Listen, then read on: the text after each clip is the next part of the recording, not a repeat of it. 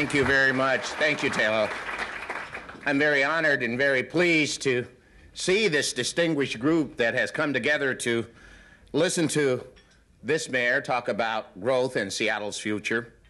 I want to start by thanking you all for coming. It is an impressive and diverse group. Looking around, I see a lot of familiar faces who will be helping us in this process and giving us guidance. But I'm willing to bet that not all of us have all been in the same room at the same time. I see neighborhood activists and advocates, homeless activists, directors of nonprofit agencies, directors of major corporations, developers, environmentalists, legislators, and lawyers, and many, many others. There are also so, a lot of people here who have spent countless hours helping to develop this vision. First of all, the Seattle Planning Commission. They have done a yo person's job in this whole effort the Framework Policy Citizen Advisory Committee, and especially all the talented people who have been a part of the Seattle Planning Department. I want to personally thank all of you for your insights and for your dedication. It's appropriate that we have such a diverse group here today because this issue affects everyone, both in Seattle and across the Puget Sound region. And I'm here today to deliver a very simple warning unless we change direction, Seattle and the entire Puget Sound region are on a collision course with a future of a lower standard of living, lower environmental quality, and the loss of all the values we treasure about this region. Let me tell you where I fear that we're heading. Unless we change direction and soon, I believe we're headed for a future of urban sprawl all across Puget Sound, from the high tide mark to the foothills of the Cascades. Maybe we will build an expensive light rail system, but our freeways will still be clogged with cars because most people don't live close enough to the stations to make them worthwhile. More and more people will be forced to move out of Seattle, especially families with children, because housing opportunities are limited and supply and demand has pushed prices out of sight. The exodus of the middle income families will leave Seattle, mainly a city for the rich, the poor, the childless, and single. The loss of middle income families will go hand in hand with a decline in the quality of Seattle schools. As more families are forced out of the city, support for the schools will dry up. The resulting loss of quality will lead even more families to leave the city, creating a vicious cycle of decline. 95% of the cars on the road will contain only a single passenger. Senior citizens and other individuals with respiratory problems will be confined to their houses three days out of every month due to declining air quality. Failing schools, perpetual gridlock, and the destruction of our once pristine environment will lead many companies across to cross Seattle off their list of places to locate new clean industry. Stagnant economic growth will mean many of our young people must look outside the region to find work. Homelessness, unemployment, AIDS, and other social problems will continue to rise, but the city and the region will be powerless to do anything about them due to a lack of revenue to support even the basic government services. Now, I know that there are some reporters in the room, so let me stress this is not my preferred alternative for Seattle's future but I believe it will be our future, maybe 20 years down the road, maybe 40 years down the road, but it will be our future unless we take decisive, difficult, and in some cases, politically unpopular action now. There is still time to change our course, but time is running out. Recently, I had the opportunity to fly over Seattle in a helicopter for a first-hand look at the potential impact of the proposed high-capacity transit lines. That trip made a strong impression on me. It got me thinking about what I like to see if I made a similar trip 20 years from now. And let me outline that vision for you because it is a very different picture than the nightmare I described just moments ago. First of all, I wouldn't start by flying over the city. I'd start by taking a quick look at King County and the rest of the Puget Sound region. I'd want to see large areas of open space, wetlands, agriculture, and forest lands left in the Puget Sound Basin. I'd want to see most of our region's population clustered in cities and towns to promote an effective transportation network and preserve natural spaces. Most of all, in the year 2010, I'd want to see the visible evidence that all the talk about regionalism in the 1980s and 90s was not just rhetoric. I'd want to see proof that decisions on density, growth, transportation, and other uh, issues were made in a regional context, not on the basis of dozens of jurisdictions acting independently to grab all the benefits of growth while pushing the costs off on somebody else. Having looked at the region as a whole in 2010, I turn my attention to Seattle itself. What would I see? I'd want to see many of our neighborhoods looking much as they do today. Single family neighborhoods, each with its own unique personality and character. I'd want to see a city where people saw every neighborhood as a great place to own a home, operate a business, or raise a family, thanks to a concerted investment of public resources, incentives for private investment, and a strong partnership between the community and city government. I'd want to see greater integration along racial, ethnic, and economic lines as a result of direct efforts to promote neighborhood diversity and the reduction of past disparities or even perceived disparities among neighborhoods. And I'd want to see brand new neighborhoods, urban villages in key locations like South Lake Union around the Kingdome, at Northgate, and at key transportation nodes along the Rainier Corridor. I'd want to see families and children returning to Seattle drawn by more affordable housing, steadily improving schools, parks, libraries, recreation centers, and a truly quality urban life. I'd want to see fewer cars on the road and more people moving around by bus, rail, bicycles, or just plain walking. I'd want to see new clean industry at strategic locations throughout the city, either homegrown or drawn here by our highly skilled workforce or well developed economic infrastructure and our healthy environment, which would still be the envy for the rest of the nation. And finally, I want to see a strong sense of community purpose a willingness to address the social needs like affordable housing, education, job training, AIDS prevention and treatment, and family support services. Now, some people might say this vision is impossible, a pipe dream. Well, I say it's our only hope. I say that as a community, we have only two choices. We can either control growth or we can let growth control us. We can either take control of growth and channel it in ways that will enhance our community, or we can sit on our hands and watch unmanaged growth destroy all of the things that we value about Seattle and the Puget Sound region.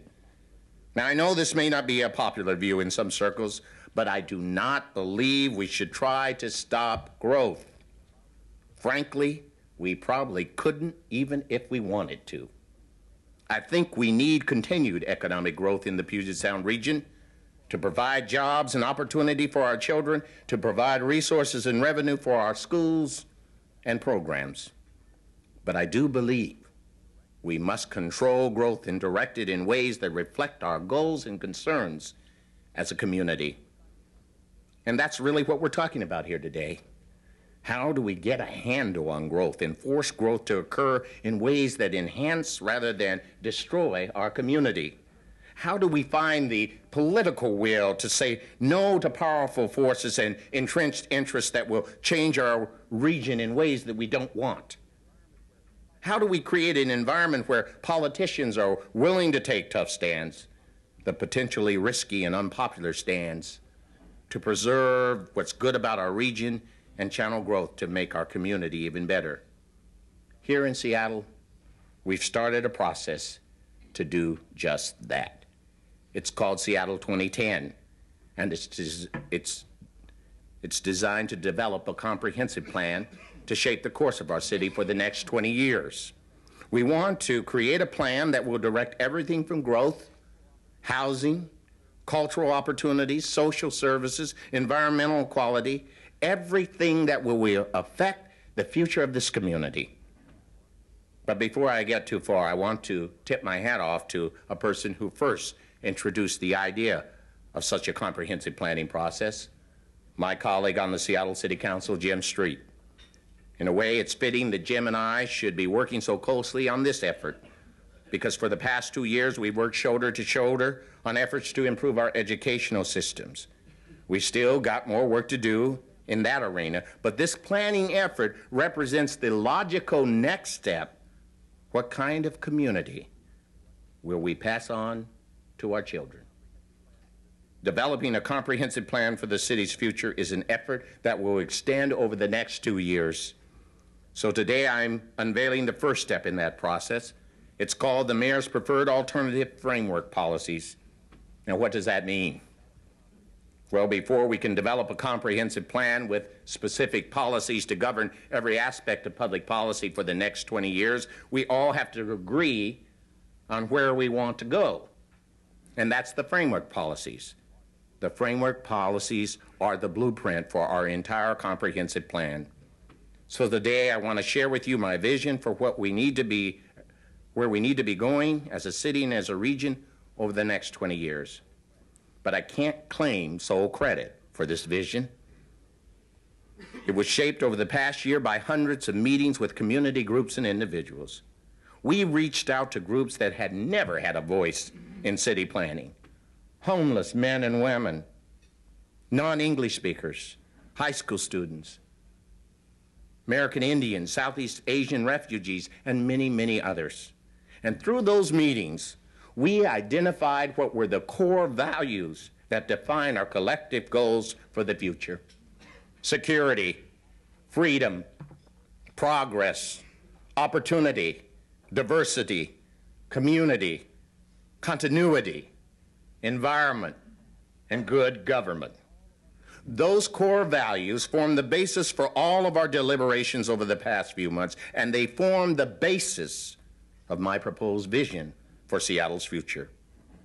Finding those core values is important because developing a long term vision forces all of us to dig deep inside. What do we really care about? Why is this so important? You know, as I wrestled with the policy questions facing the region, I kept coming back to two basic central themes preserving a place in our community for our children and our elders, and protecting our Northwest environment because it's all about family. Anyone who knows me knows that I care a lot about children, and anyone who knows me knows how much my mother and my grandmother have shaped my life. I don't want to see a community that loses its ability to embrace our young people and our elders, and I don't want to see our children forced to leave their community in order to find a job or an affordable home. I don't want to see seniors like my mother forced out of their homes or forced out of their community by economic or social pressures. It's tribal. The day that Seattle loses its ability to sustain our children and our elders is the day we become just another city instead of a true community. It's also about our relationship with the water and the forests and the mountains. I want all of our children to have the opportunity to experience the natural wonder we enjoy, to feel their linkages with the water and the weather to sense the unfathomable power of salmon returning to spawn after years at sea, to have mountains and forests as anchors in their souls. It's spiritual. We are only stewards of our land and water and air and wildlife. The environment is not ours to destroy for our convenience or profit we have a sacred obligation to protect the environment, to share its wonders with future generations. These are the values that drove me as I developed my vision for the future of this community. They are the touchstones that have guided me throughout this process. And that process has resulted in a 150 page document that we're releasing today, which spells out my vision in fine detail, as well as several other alternatives. Over the next few months, this document will be the subject of workshops, hearings, and council debate, and I urge all of you to make your voices heard. And I don't believe that you'll be stopped. I can't possibly tell you everything in just 30 minutes, so I want to tell you the principles that are the core of this proposal. So think of this speech as cliff notes. And if you want all the detail and substance, you have to read the whole book. Principle number one to create the Seattle we all want in the future, we must start by preserving many of the values and features that exist in our city today. Because I think that's what scares people most about the future it's change. People see powerful forces changing their community and they wonder where it will stop. It's our values compassion, openness, diversity, independence, determination, generosity. These values are reflected in the physical features that define our communities, our residential neighborhoods, and our healthy business districts. Fremont, Wallingford, Mount Baker, West Seattle, Madrona, Ravenna, Beacon Hill, Eastlake, Rainier Beach, Ballard, Seward Park, Delridge, Greenwood, and the list goes on and on. Each with their own unique character, each with their own feel any blueprint for the future has to start by recognizing these unique features and these unique treasures and taking strong steps to preserve them. Principle number two we've got to address every planning decision from the perspective of environmental stewardship. I want our children to have the same opportunity we had to experience the wonders of nature in this region. We need to stop urban sprawl and preserve our dwindling open space by channeling growth into already developed areas. In recent years, we've lost open space and farmland in King County at an unbelievable rate. Most of the population growth in the county has occurred outside of the city of Seattle and outside of the other major towns and cities. Many areas that look rural today are, in fact, platted lots which might be developed in the future. We cannot allow that trend to continue, or we'll see every acre of available land swallowed up by urban sprawl. We've got to focus the county's population growth into already built areas. And I believe that Seattle can and must show regional leadership by saying we can accept more than our proportional share of the growth that's going to occur in the years ahead. Now, having said that, we cannot take all that growth if we rely on a business as usual when it comes to land use patterns and development. We've got to focus growth within the city as well to protect our single family neighborhoods and our neighborhood business districts and in our in city open space and other environmental values. Principle number three we need to develop a truly comprehensive transportation system that will support a healthy community, but get people out of their single passenger cars. In our community meetings, we heard this theme again and again. Mobility is truly a key to the quality life of this city. Now, for some, the word mobility means one thing a $12 billion light rail system. But when you stop and think about it, that light rail proposal is only a partial solution at best.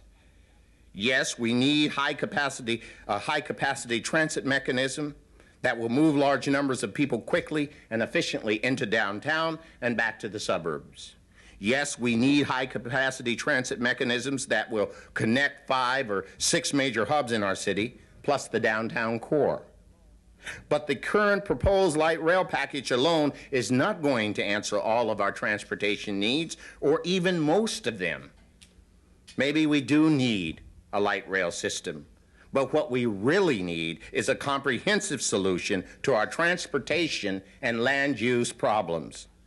On the transportation side, we, I would agree that we need some form of high capacity transit to move large numbers of people quickly and efficiently between residential and commercial centers. That could be light rail Or we might be able to accomplish the same goal at far less expense through dedicated bus service.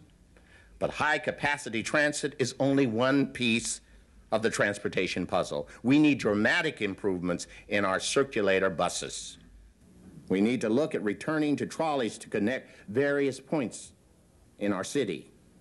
We need to dedicate more of our highway and arterials to HOV lanes to provide visible, concrete incentives for carpooling and to penalize single occupancy vehicles. We need continued improvement and expansion of our urban bicycle trail system, including one or more dedicated bicycle lanes through our downtown core. And we need to understand the link between land use, urban design, and transportation. We need to encourage development that renders cars unnecessary. We need to encourage development that makes it possible to walk between work, home, and services. There's no question that this region needs to make a major investment in the transportation infrastructure in the years ahead. The real question is whether a $12 billion light rail system is the way to go. I'm encouraged that Metro is already looking at ways to scale back the project, to cut costs, but maintain the vast majority of potential riders. We need to take that analysis even further. Let's assume that our region has the will to make a major investment in mobility. Let's take the time we need to explore the options to ensure that we get the benefit of every dollar spent. Principle number four. To preserve environmental values throughout the region, Seattle can accommodate more residential growth, but growth must be accompanied by the proper infrastructure and amenities. Increased growth does not have to equal declining quality of life. But that is only true if we plan for growth by creating the infrastructure to sustain the community. And I'm defining infrastructure today very broadly. Not just sewers and roads, but schools, parks, libraries, recreation centers, open spaces, and much more. Because my basic point is this to accommodate growth and protect our existing neighborhoods, and our open spaces, we need to create new urban villages. And when I talk about new urban villages, I mean places where people could live, work, shop, play, and go to school all within walking distance. Places where children, senior citizens, families of all ages and incomes can feel at home. Places with a wide range of housing intermingled to create a diverse and vibrant community, places with a high, fairly high population density, but a wonderful quality of life, thanks to carefully planned amenities like parks, libraries, playfields, retail shops, and other things that make a true community. Places where you could leave your car in the garage for a month or do with it altogether and never even notice it places where high capacity transit, buses, bicycle trails, and walking all mesh together to create an effective transportation network. By channeling growth to these urban villages, we can preserve our existing single family neighborhoods. We can accommodate population growth and do it in a way that enhances the city's character and quality of life. Where could these new neighborhoods be? Obviously, that's a question for more study, more planning, and more design. But I can certainly foresee new urban villages in the South Lake Union area, or near the Kingdome, or Northgate, or around the major transportation hubs in southeast Seattle. Principle number five. Our future depends on leadership with the political will to recognize and balance the needs of the entire region. We need to see ourselves as part of a larger region, and we need to ensure that regionalism is a two way street. Yes, I believe Seattle can accommodate a greater share of growth projected for this region and do it in a way that enhances our quality of life. But in return, we need some things from the county and the region as a whole. We need the county to ensure that leadership will be present to hold the line on the urban growth boundary. Nothing Seattle can do will prevent urban sprawl from destroying our regional environment if the county does not restrict development outside the existing urban area. We need regional funding to create incentives for more compact residential development within Seattle and other population centers, which is so critical to preserving open space throughout the region. And we need to recognize the unique burdens that Seattle is forced to shoulder and the load that we take off their backs.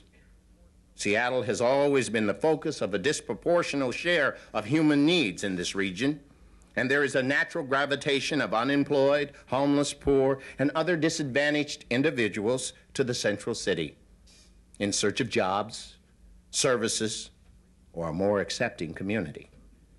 Recently, we have begun to see some suburban communities begin to tackle some of these pressing issues, particularly in the area of youth services, but an enormous disparity still remains. This region needs to recognize the unique role that Seattle plays, and the region needs to be more of a partner with Seattle. We need more resources and more support, or else we cannot continue to meet those needs indefinitely. And finally, we need to resolve our differences over the form of regional government so that we can get on with the real issues, the substance of regional government. To create the future we all want will take more than just a vision or where we want to go. We will need some specific policies to take us there. To preserve our dwindling wetlands, farmlands, and open spaces, for example, we need the county to show political will and vigorously enforce the urban growth boundary. In extreme cases, Seattle could potentially refuse to provide water service to developments that are not consistent with the urban growth boundary or the county's overall growth plan. To promote development of new urban villages, we could increase public investment in infrastructure and amenities in specific areas to encourage families and businesses to locate in these areas. We need to ensure the school district's massive capital plan is consistent with the city's overall development goals so that we can link up schools, libraries, community centers, playfields, and other investments. Combining these plans and facilities can help create our new urban villages and maximize the benefits of our taxpayer dollars. We need to take a close look at our development review process and adopt policies which would streamline the process for projects in areas targeted as new urban villages. These are just a few of the examples, and the point is clear. Once we determine the direction we want to go, there are a number of concrete policy levers we can use to get there, if we have the creativity and the political will to use them. Achieving this vision I've outlined is not going to be easy. It will require significant changes from existing policy, but these are the kinds of steps we must take to retain Seattle as a livable community. There will be people who won't like this plan. Having said that, I don't believe that planning for our future has to be a zero sum game. I do not believe we have to choose between a strong economy and a healthy environment. I don't believe we have to choose between affordable housing for our children and our elderly and preserving neighborhood character. I do not believe that in every planning decision someone has to win and someone has to lose. I say we can do it better. And I say there's room within my vision of the future for almost every member of Seattle's family to find a place. For neighborhood activists, my plan would provide a way to preserve our precious single family neighborhoods and empower residents by giving neighborhoods more of a voice over development and design standards. For environmentalists, my plan would provide a way to preserve air quality and focus our region's growth into existing developed areas to protect our dwindling green spaces, farmlands, and wildlife habitat. For young families, my plan would ensure that they are not priced out of Seattle's future by creating affordable housing and family oriented housing in new multi use neighborhoods.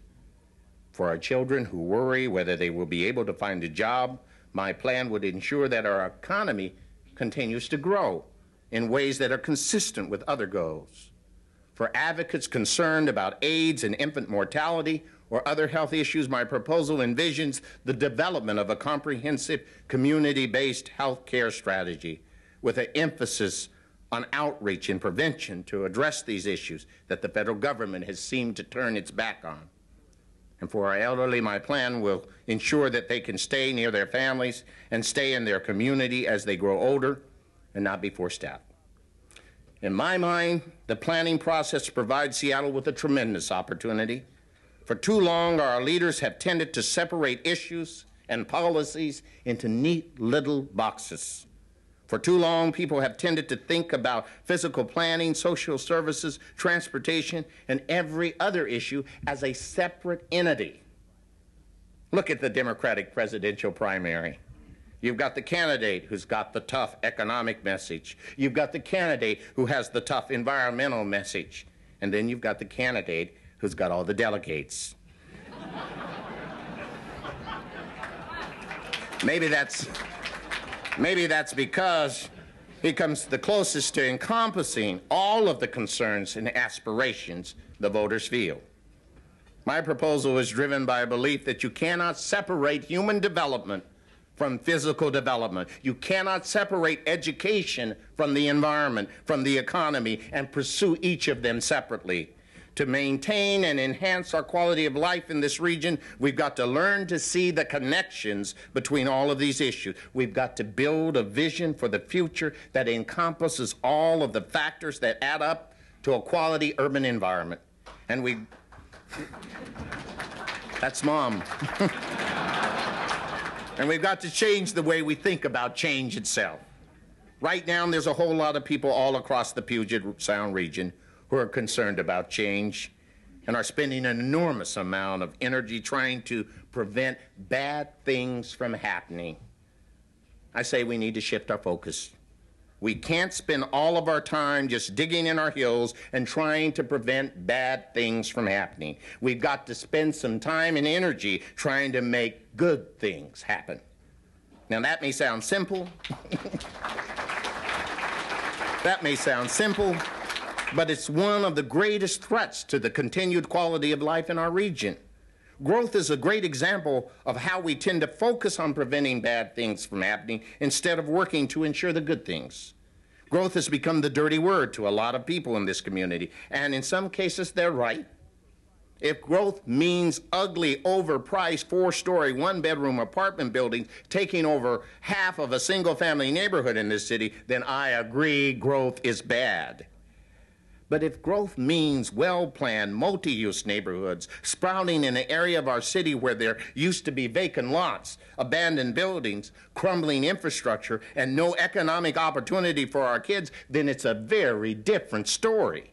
And if growth means families coming back to Seattle with their children and their grandparents, then that kind of growth I'll take any day. I say it's time to stop spending all of our energy to stop the wrong kind of growth the wrong kind of change. Let's put our energy into promoting the right kind of growth, the right kind of change, and think about it. If we can channel growth into positive outcomes, then that in itself will take the pressure off the negative growth we all fear. Instead of constantly holding back or being on the defensive because we're afraid of any kind of change, let's take the offensive and create the kind of community we all want. I truly believe that Seattle is one of America's last and best hopes for creating an extraordinary urban quality of life. But I also believe that the sand is running out of the hourglass. Unless we take strong, decisive action now, we're headed for a future of urban sprawl. Unless we take strong, decisive action now, we may as well roll out a replica of Los Angeles from Puget Sound to the Cascades, from Everett to Olympia. But that grim prospect does not have to be our future as a city or as a region. We have it in our own hands to create our future. A future with Seattle as the center of a healthy, environmentally sound region. A future where there are actually more open spaces and more recreation areas. A future of vibrant, pedestrian oriented urban villages. A future where the most vulnerable among us, our children and elders and those who are afflicted have respect and opportunity a future where we are investing in people and community and not just hardware, a people where there are jobs waiting for our children and our schools are actually preparing our kids to take those jobs. That's my vision for the future of our community. But to make this vision a reality, we're going to need the full and active support of the entire community. In the weeks ahead, I'm going to be taking this vision out to the community and forums all across the city. I've shared this vision with my department heads, with their managers, and the mandate is that they are to be out there working and showing you how it can work. So, in closing, I want to leave you with one of my favorite parables. It takes an entire village to educate a single child. As we've seen over the past two years, education is not one dimensional. We need to approach education in a holistic sense and bring every community resource to bear on the challenge in the same way that it takes an entire community to create a livable future. We cannot approach this task one dimensionally. We need to understand all the factors that add up to the region's quality of life, and we need to involve our entire community in charting our future course.